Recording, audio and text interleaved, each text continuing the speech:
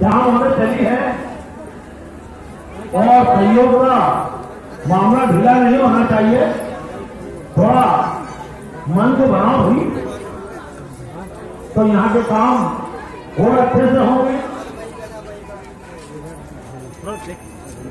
ये आपका एक एक रुपये का व्यवस्थित रहेगा था ये हम आपको सेना छोड़ के कहते हैं।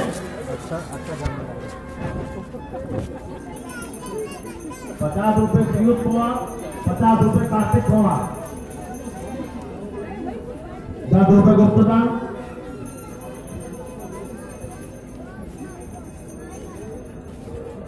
ये भोले गोपेश्वर भगवान के दीवाने अलगे लगता है। आनंद ले रहे महाआनंद। मेरे का महाआनंद दर्शन ये आनंद साहब एक सौ दो रुपये गुप्तदान